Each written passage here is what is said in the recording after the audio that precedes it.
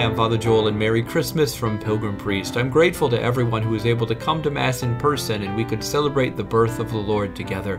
But I'm also grateful to everyone who was able to tune in remotely and to you for listening to the Preaching Podcast. I pray that Jesus will come to live in your heart. God bless you.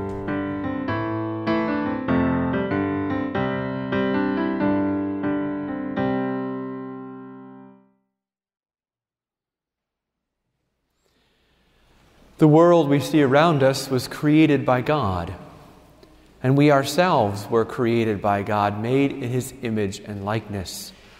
One would think that between creation and human beings, it would be obvious how good God is, that, that God is both an artist and an engineer. And yet, human beings have, throughout history, invented strange ideas of who God is and who we are and what we were made for. And so God told the prophets about himself. He revealed himself to Abraham, who made a covenant with him, and he prepared for something greater. He prepared to come to visit his people in the flesh, to reveal his very face to us by the Word becoming a human being by the only begotten Son of the Father, the second person of the Holy Trinity, being born in time.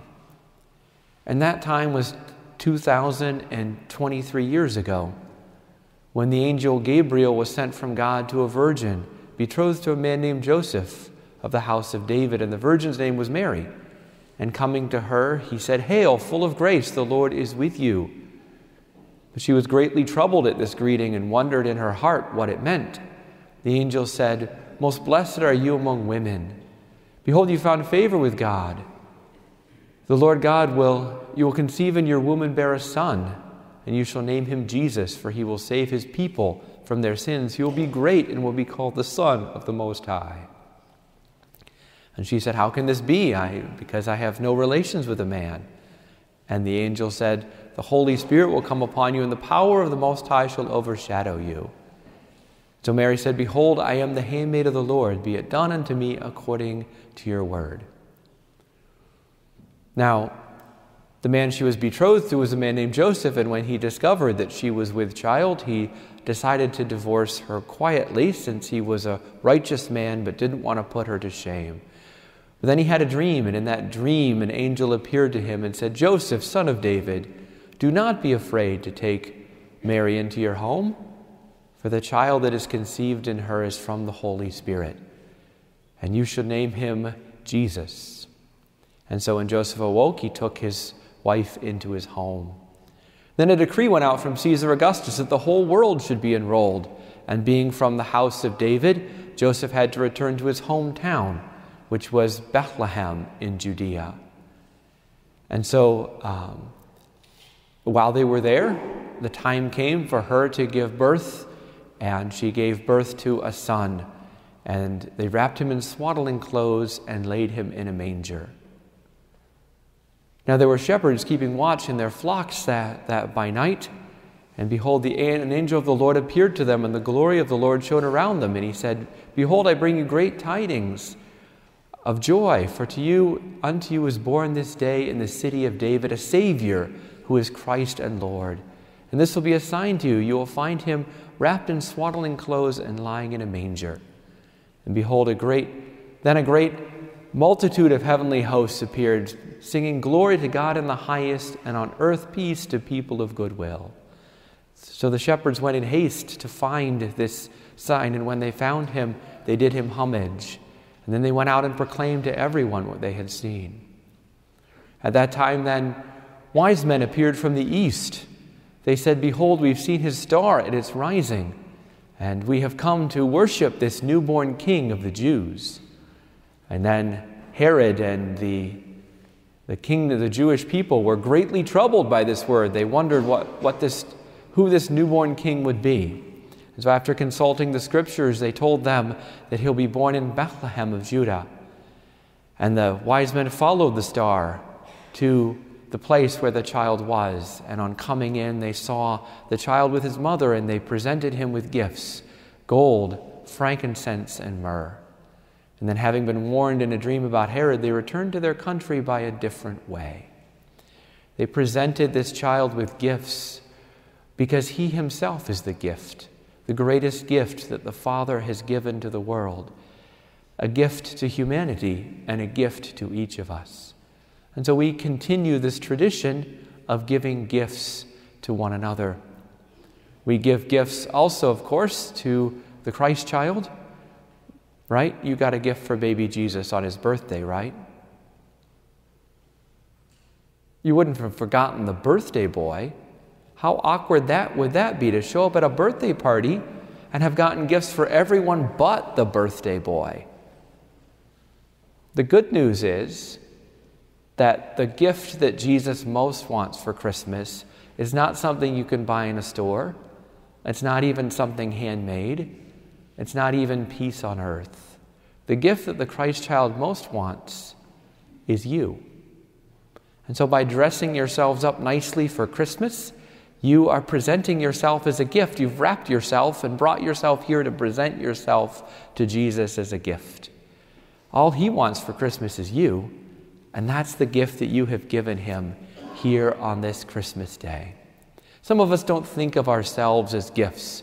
We might be afraid that Jesus will unwrap us and be like, ah, oh, I got her. Not everybody's a great gift giver, right? Sometimes we have the experience of receiving a gift, and it's not something we would ever want or would ever use. That happened to me once. My mom gave me the gift of an electric kettle.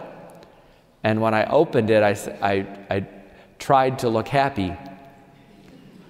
But I had a nice teapot that I put on my stove, and I, I used that to boil water, and I really didn't think I needed an electric kettle. And then I tried it, and it was amazing. It turned out to be boil water way faster than my stovetop teapot. I started using it every day.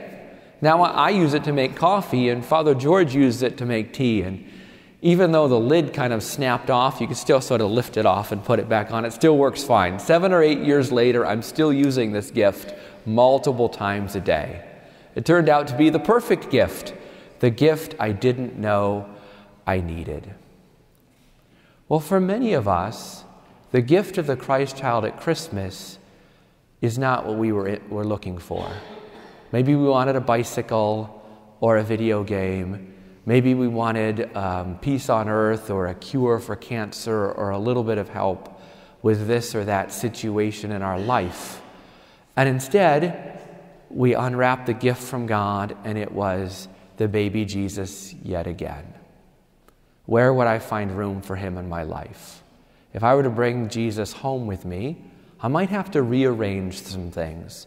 I might have to get rid of some things in my life that he wouldn't be proud of. I might have to focus my life on some other things besides myself. Best to leave him under the tree, we think, and we wonder when is God going to give me what I really want? But what we don't realize is the gift of the baby Jesus may not be what we think we want, but it's the answer to all our prayers. We pray for the gift of peace, we pray for the gift of joy, and here he is. We pray for true love. And here he is, waiting for you. We pray for guidance. What, can, what do I do in this situation? How do I be a good, a good man, a good husband, a good father, a good brother, a good grandfather? How do I deal with my job situation or retirement or what am I going to do with my life? And he's come to meet you, and he's come to walk with you. Jesus is given to us to be Emmanuel, God with us. We thought he was going to give us an answer, but he himself is the answer. But too many of us will leave the gift under the tree because we think it's not what I wanted. The reality is that it's what we most need. So, Jesus' birth 2,000 years ago in Bethlehem in Judea makes absolutely no difference to me if I don't receive him into my heart, if I don't take him home with me. The wise men received him, the shepherds received him, and he changed their life. Mary and Joseph received him, and he changed their life. The disciples received him, and he changed their life. His birth makes no difference until we too receive Jesus in our hearts. And then when we do, his birth is the one thing that truly matters. Merry Christmas.